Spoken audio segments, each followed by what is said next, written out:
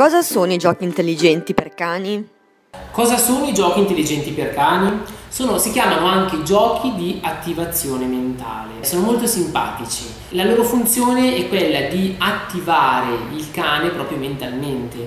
Generalmente sono di varie tipologie dove si nasconde un bocconcino, un pregnetto eh, sotto un determinato ostacolo e il cane deve superarlo, tipo magari spingerlo col naso, a riconoscere che in determinati blocchetti con una determinata forma c'è un croccantino, sono proprio dei giochi di attivazione mentale. Ovviamente vanno fatti con il proprietario, con il padrone, non si può lasciare a casa da solo il cane e mettere lì il gioco di attivazione mentale per tenerlo occupato, è veramente sbagliato.